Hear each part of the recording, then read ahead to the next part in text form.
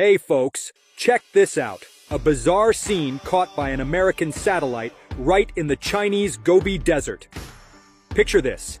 Thousands of mirrors tossed into the desert, arranged in a mirror matrix.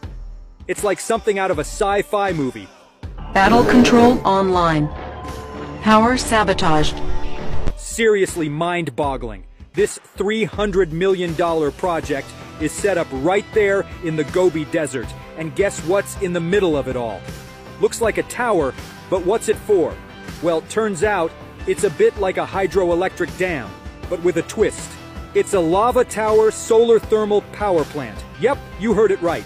This tall tower has a heat absorber on top, and beneath it, there are 14,500 mirrors, appropriately called sun tracking mirrors.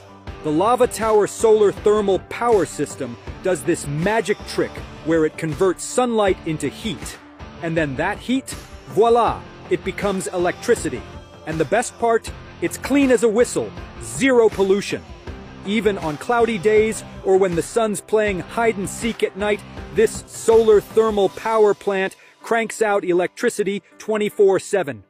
The Gobi Desert, where this cool setup's at, gets a crazy amount of sunshine, like more than 3,500 hours a year.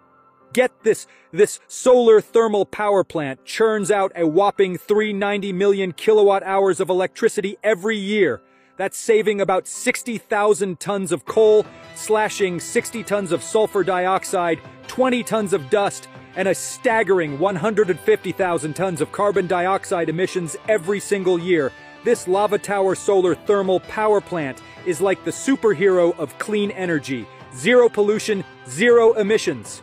Can you think of any downsides to this power play?